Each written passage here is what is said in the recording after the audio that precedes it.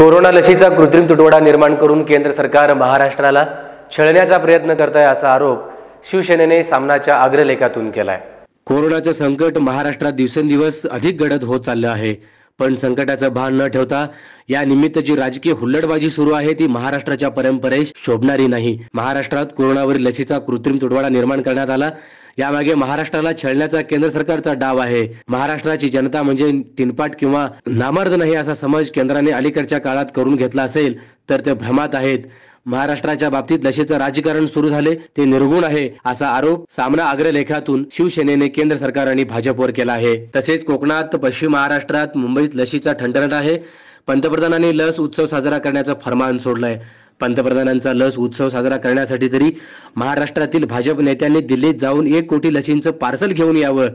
राजकीय भांडण आहेत पण त्या भांडणात आपलाच लोकांचा जीव का घ्यायचा? महाराष्ट्राच्या बारा कोटी जनतेने कधीतरी आजच्या विरोधी पक्षालाही सत्तेवर बसवलंच होतं. तेवढे तरी इमान राखा. लस जनतेसाठी आहे फालतूच्या राजकारणासाठी नाही. जे असे राजकारणाची वळवळ करीत आहेत त्यांना संभाजी भिडेंच्या भाषेतच म्हणावं लागेल असं म्हणत शेलक्या शब्दात शिवसेनेने सामनाच्या अग्रलेखातून भाजपवर आणि केंद्र सरकारवरती निशाणा साधलाय.